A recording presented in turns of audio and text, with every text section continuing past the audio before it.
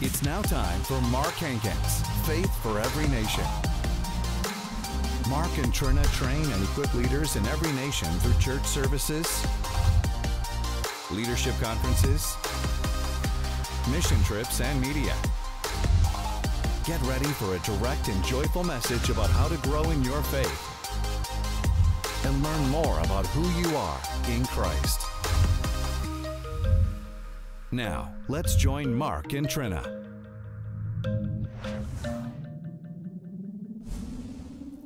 Second Corinthians chapter 8, I just look at this one verse, verse 7, and Paul's uh, talking to these people about their generosity. Everybody say generosity.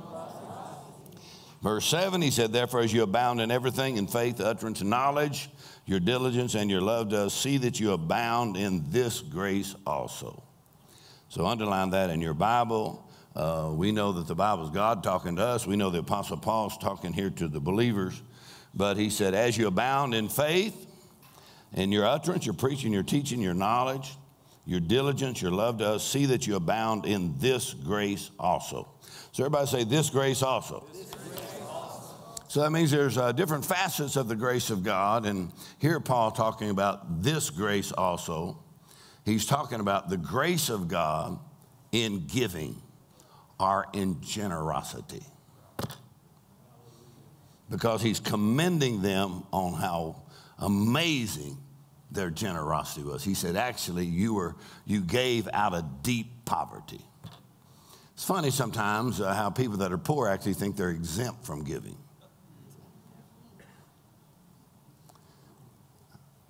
I think it's Anne Frank who said, Nobody ever became poor by giving. In other words, you can actually give your way out of poverty. So these people gave out of their deep poverty, and Paul was so amazed. And um, he said, Now see that you're bound in this grace. He's talking about not just the grace of giving, but he's talking about the grace of God in the area of your finances. And so the Lord said to me, If Grace is amazing in every other facet. It should be amazing in the area of your finances. Let's try that one more time. If grace is amazing, how many know grace is amazing? Where sin abounded, grace did much more abound. And so, where grace is amazing in all these other areas, and we love to talk about grace, Paul says, now there is a facet of grace, he said, that has to do with your finances. And he said, see that you abound in it. Other translations say, see that you excel in this grace. And so when he says see to it, means you will not do it accidentally. See to it means you'll have to pay attention because it's important to God for us to abound in this grace. Amen. And he says, um, This grace, so the Lord said to me, when you abound in this grace, he said, then uh, you'll look at your checkbook and say, Amazing grace. Or you look at your checking account and go, Amazing grace. Come on, or you look at your house and you walk in and you go, Wow, it's like a dream come true. Amazing grace.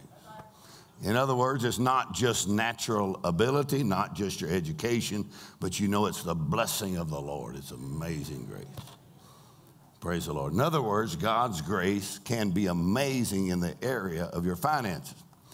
And so I learned a lot about generosity from my mom and dad and from Dad Hagin. And so um, Pastor Bruce Black asked Dad Hagin one time, said, um, uh, if you're looking for a quality in a leader, if you're looking for a quality in a leader, what would be the number one thing you would look for? And he said, Dad Hagin said, generous. I mean, there's a lot of things you could say you want in a leader, but he just said that's the first thing he said generous. He said, because someone who's not generous will shut down the move of the Spirit of God. Oh, let's try that one more time. In other words, generous, he said, someone who's not generous will shut down the move of the Spirit of God. What does that mean? That means your generosity affects more than your money. Let's try that again. I said, Your generosity affects more than just your finances. Hmm. So the Lord said to me one time, He said, If you'll be generous, a generous giver, He said, I'll do things for you money cannot do. Praise the Lord. Amen. And so uh, I think a lot of people actually think they are generous until they run into somebody that's generous. Getting quiet in here now. Somebody said, Well, I'm just frugal. Frugal might be good at Walmart, it's not good at church. You don't want that to be the epitaph on your tombstone, here lies stingy.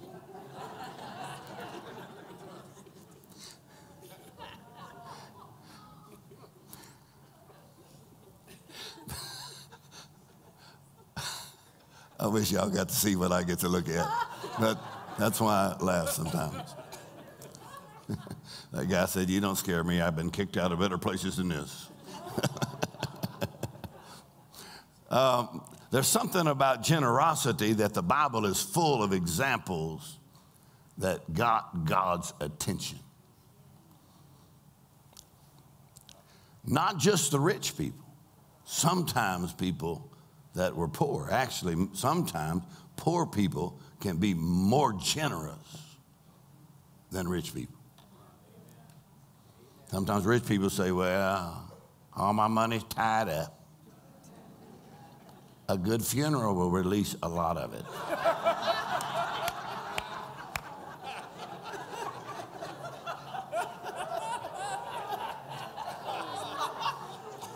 I'm saving it for a rainy day. You're going to have one.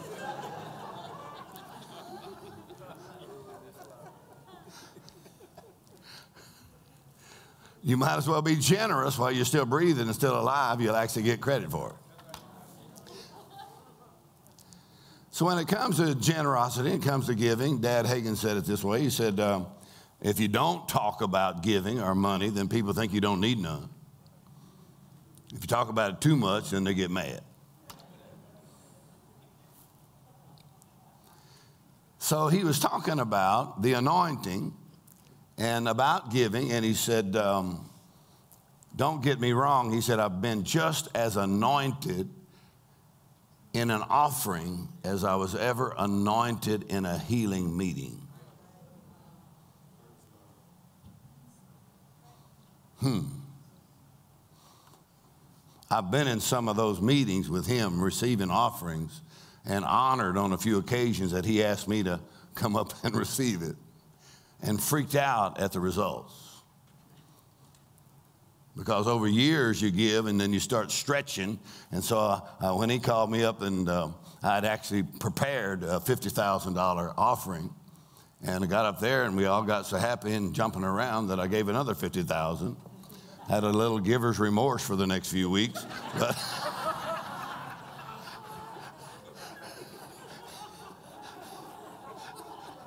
And the devil said, What you going to do if that don't work? Uh, well, as I look back, um, that's probably about $40 million ago. So I said, uh, Devil, what you going to do when it does work? So don't let the devil scare you out of the generous department. And so Paul said the way you access this grace in 2 Corinthians 9 is you access this grace, uh-huh, through sowing. Through sowing. He said, you sow sparing, you sow generous. Turn to 1 Timothy chapter 6. Let's read this while we're talking about this. And I won't, I won't take much longer unless.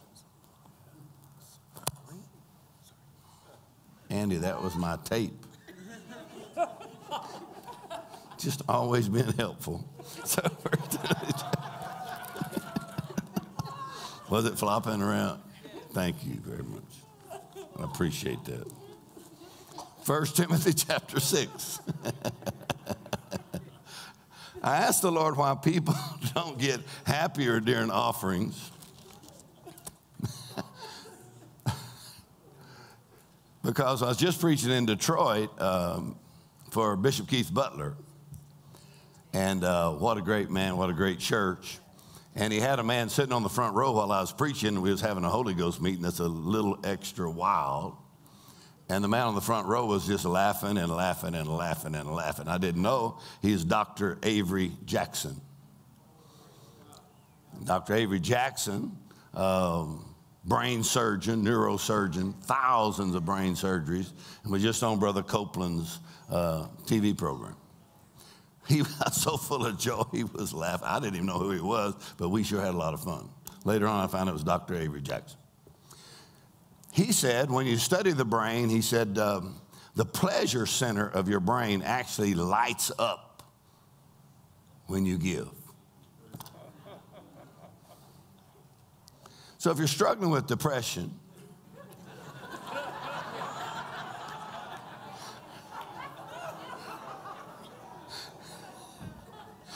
God designed your brain to be happiest when you're giving. You're most like God when you're giving. And so God designed you actually physically to enjoy life more when you're a giver. He said, Your brain lights up. So you really don't need no marijuana. You don't really need to vape. You just need to tithe and sow generously. That'll light you up, man. You're like, somebody say, What you on? I'm on giving, man. I'm on giving. I can see some of you that never had that high.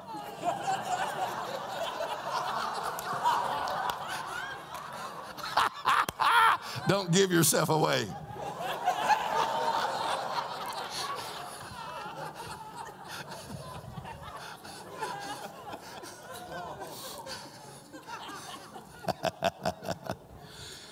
Something about generosity and giving that Jesus said if you'll be faithful in that area,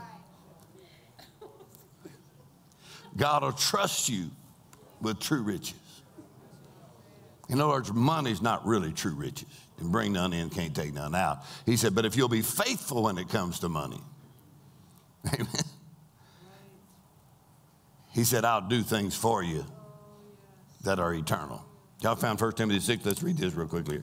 1 Timothy 6. And then Paul tells Timothy, because we're talking to pastors, we're talking uh, to leaders, so this is really leadership talk. And he says to Timothy, verse 17, 1 Timothy 6, 17, charge them that are rich in this world. Charge those that are rich in this world, that they be not high minded, nor trust in uncertain riches, but in the living God who gives us richly all things to enjoy. Look at the next verse that they do good, that they be rich in good works and ready to distribute, willing to communicate and to give. Um, the message Bible says, charge those that are rich. When he says rich in good works, says that they be extravagantly generous. Amen. So we've studied that before. That anybody that makes thirty or forty thousand dollars a year is more rich than 98% of the people in the world. A lot of times people say, well, you, know, you need to tell some uh, Warren Buffett about this. No, we're talking to you. And if you don't think you're rich, I mean, we're going to Nepal next week. And so people are very poor according to our standards. So we pay for everything for them to come to the meetings and take care of them. And some more just called in and said, Can you pay our way? Because they can't afford to even travel. We said, Sure, we're rich. Amen.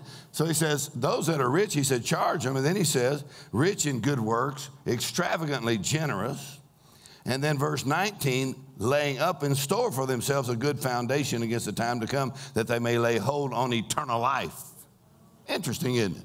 So he says something about your generosity. He says people that are rich. I read this years ago, and he said, uh, talk to the rich people at church. So I didn't get upset about that because I found out, well, there must be supposed to be rich people at church. Once I found out there's supposed to be rich people at church, I signed up for the program. He didn't say just talk to all the broke people at church. No, he said, talk to the rich people at church.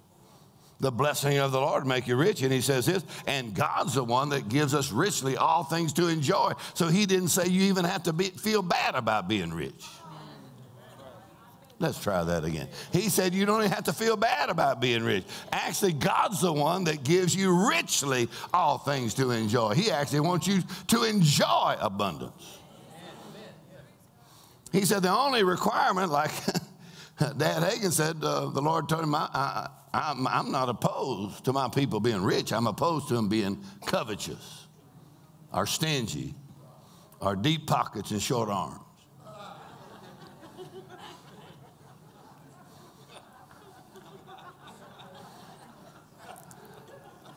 A Rolex living and Timex giving.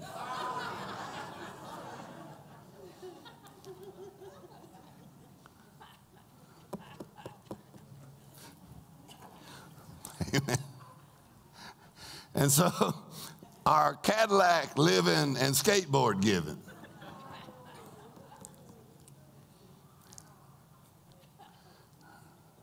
I think T.D. Jakes said, uh, don't dance better than you give. When it came to David's giving, 1 Chronicles 29, the Lord said to me, he said, A lot of people want to sing like David sang and dance like David danced, but they don't want to give like David gave.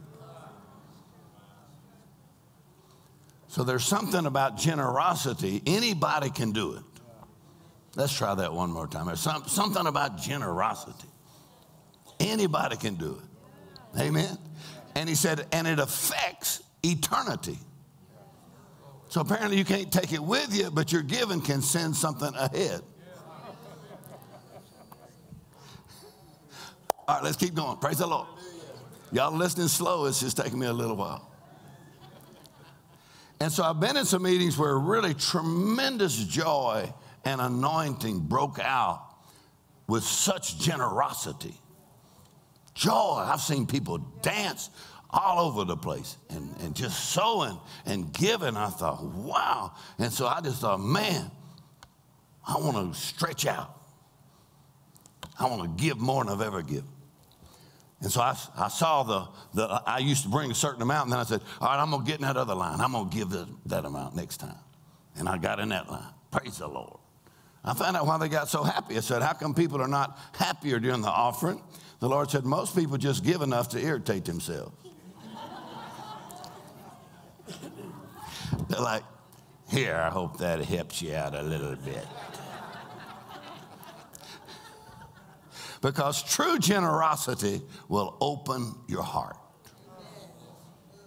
Come on, if it'll light up your brain, it'll open your heart. Two things that open heaven and open your heart is the blood of Jesus and generous giving. Matter of fact, if you feel like you're not as close to the Lord as you used to be, Let's try this one more time. I said, if you feel like I'm just not as close to the Lord as I used to be, how shall we return? Malachi said, You return with your tithes and your offerings or your giving. So you can actually give because it reflects your affection and it affects your affection. Or you can give and you'll refuse to backslide. You'll say, Well, I was considering backsliding, but I gave too much now, I'm not going to quit.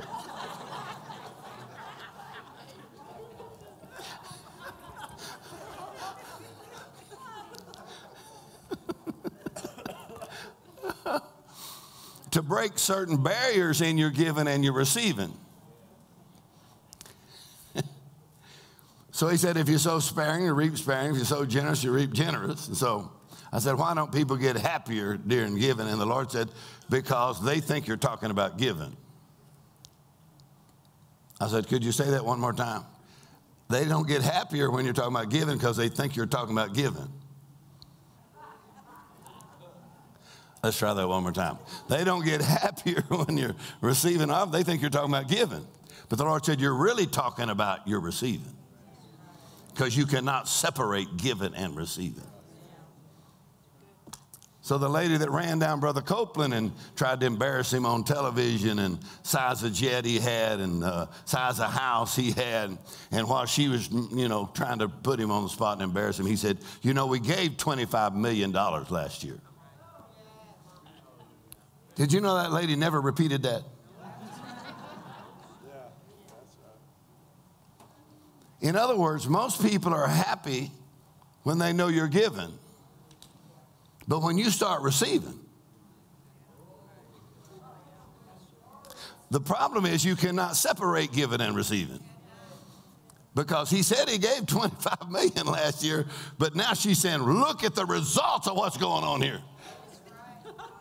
Let's try that one more time. I said, look at the results of what's going on here.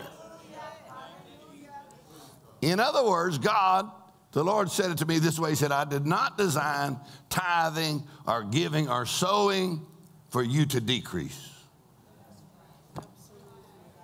Well, I thought, lay hands on my head right now. God said, I did not design tithing or sowing and giving for you to have less. He said, I actually designed the tithing and the giving for you to increase. Praise the Lord. You ought to get happy right now. In other words, why don't people get happier during the offering? Because in the Old Testament, man, they danced and ran and jumped and shouted. So the Lord said, Don't think about just what you're sowing. Think about the kind of harvest that's going to come in through that kind of giving.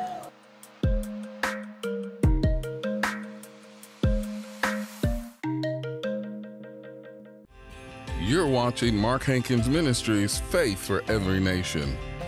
Galatians 6:10 says, "As we therefore have opportunity, let us do good unto all men, especially unto those that are of the household of faith." The good news is anyone can participate in God's generosity plan. We have to look for the opportunities He gives us to sow our seed. The generosity of a believer affects how they receive the word. When you give, not only reflects your heart, it also affects your heart. In his book, How to Receive God's Extravagant Generosity, Mark Hankins shares how your spiritual breakthrough may be just as connected to your giving as well as your praying. God will do things for you that money can't do when you're a generous giver. As a bonus, you'll also receive the 4 CD set, How to Receive God's Extravagant Generosity. This teaching will help you understand how God wants everyone to reap the benefits of His plan for generosity.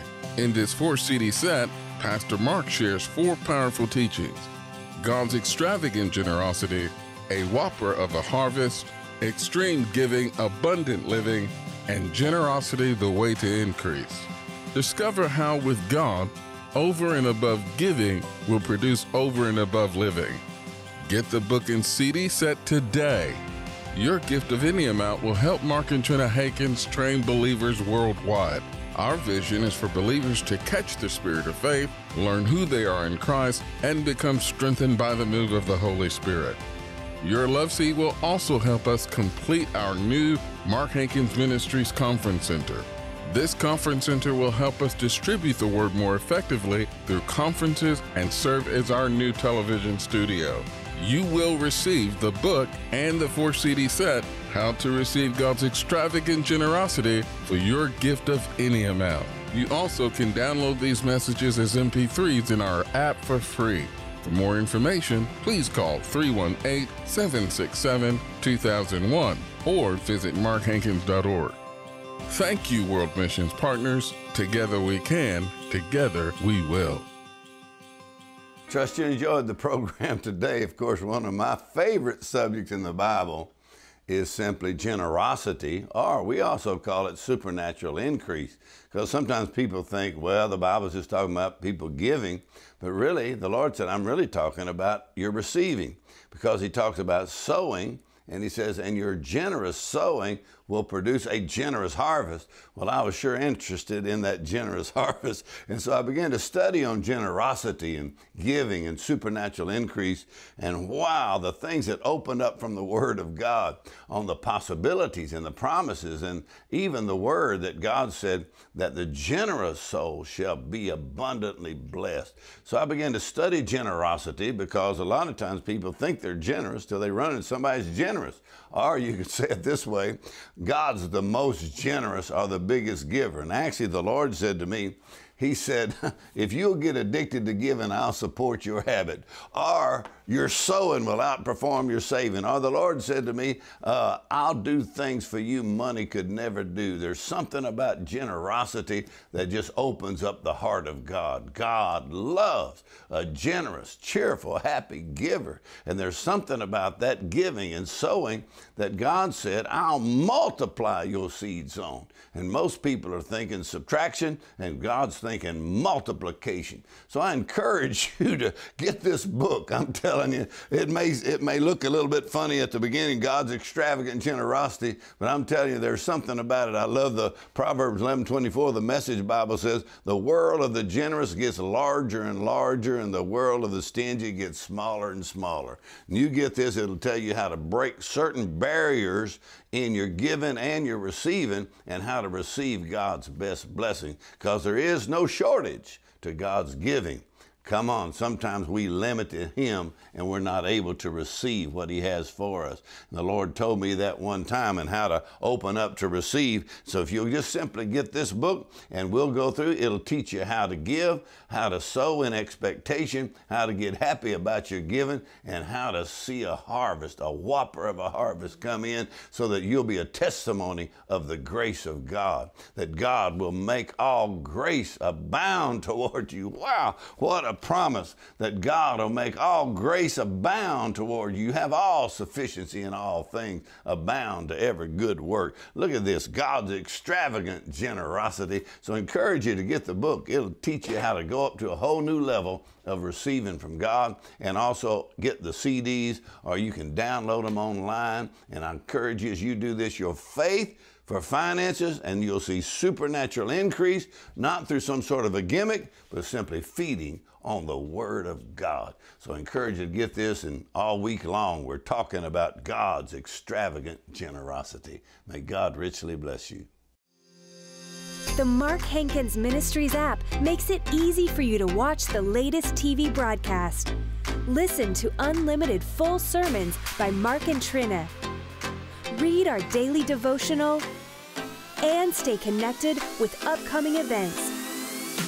Download the app today on any smart device. Simply search Mark Hankins Ministries. Start feeding your faith at any time and anywhere. Join Mark and Trina Hankins for an hour of powerful teaching live Monday through Friday on Facebook and YouTube at 10 a.m. Central Standard Time. Everyone can join in Christ Bible School. Catch the spirit of faith and move the mountains in your life. Watch live wherever you are and learn who you are in Christ. That's live at 10 a.m. Central Standard Time. Thank you for watching Mark Hankins Ministries Faith for Every Nation. For more information on how to build your faith, visit markhankins.org. You can access many free word resources to help you find who you are in Christ. Stay connected with us on Facebook, Twitter, Instagram, or our YouTube channel. Thank you for watching.